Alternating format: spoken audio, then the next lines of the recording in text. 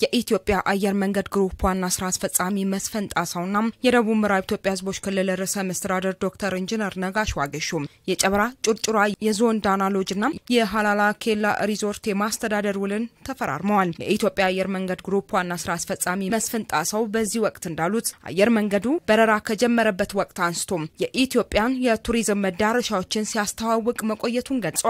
ከዚህ ባሻገርም በሆቴል አገልግሎት ዘርፍ ባለ አምስት ኮከብ የሆነው የኢትዮጵያ ስካይ ላይት ሆቴል ተገንብቶ ወደ ስራ ከገባበት ጊዜ ጀምሮ ዓለም አቀፍ ደረጃውን የጠበቀ አገልግሎት እየሰጠ እንደሚገኝም ገልጸዋል። አየር መንገዱም በገበታ ለሀገር የተገነቡ ሎጅና ሪዞርቶችን በስካይላይት ሆቴል ስር እንዲያስተዳድር መደረጉም የሆቴል ኢንዱስትሪውን ለማስፋት ምቹ መደላድል እንደፈጠረለትም አስረድተዋል። በዛሬው ዕለትም የጨበራ ጩርጩራ የዝሆን ዳና ሎጅና የሀላላ ኬላ ሪዞርትም በኢትዮጵያ ስካይላይት ሆቴል ስር በሚጠበቀው የጥራት ደረጃ ለማስተዳደር ውል መፈራረማችን ትልቅ እድል ነው ብለዋል። መንግስት በየቦታው በጣም ጥሩ የሆኑ የቱሪስት መዳረሻዎችን ገንብቷል። ስለዚህ ከኛ ፍላጎት ጋር የተጣጣመ ስለሆነ እኛም እነዚህን ሆቴሎች እነዚህ የቱሪስት መዳረሻዎች የስካይላይት ሆቴል ባለ አምስት ኮከብ የአገልግሎት ደረጃን በጠበቀ መልኩ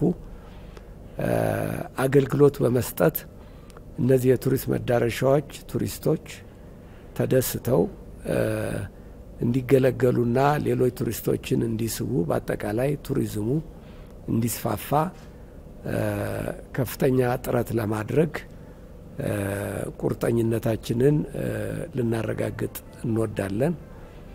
ስለዚህ በእነዚህ ሁለት የቱሪስት መዳረሻዎች ብቻ ሳይሆን ሌሎችም ጋር ስካይላይት ሆቴል አገልግሎት አድማሱን በማስፋት ሌሎችንም ደረጃ አሁን የጠበቀ አገልግሎት ለመስጠት ከሌሎችም ጋር እንደዚሁ ስምምነት እየተፈራረመ ይገኛል። የደቡብ ምዕራብ ኢትዮጵያ ሕዝቦች ክልል ርዕሰ መስተዳድር ዶክተር ኢንጂነር ነጋሽ ዋጌሾ በበኩላቸውም የኢትዮጵያ ስካይላይት ሆቴል በዘርፉ ያለው ልምድና ተሞክሮም ሪዞርትና ሎጆችን በብቃት እንደሚመራ የሚያሳምን ነው ብለዋል። በዚህም ወደ አካባቢው ለሚያቀኑ ጎብኚዎች ደረጃውን የጠበቀ የሆቴል አገልግሎት በመስጠትም ከአካባቢው ባለፈም የኢትዮጵያን የቱሪዝም ዘርፍ ይበልጥ እንደሚያሳድግም ተናግረዋል።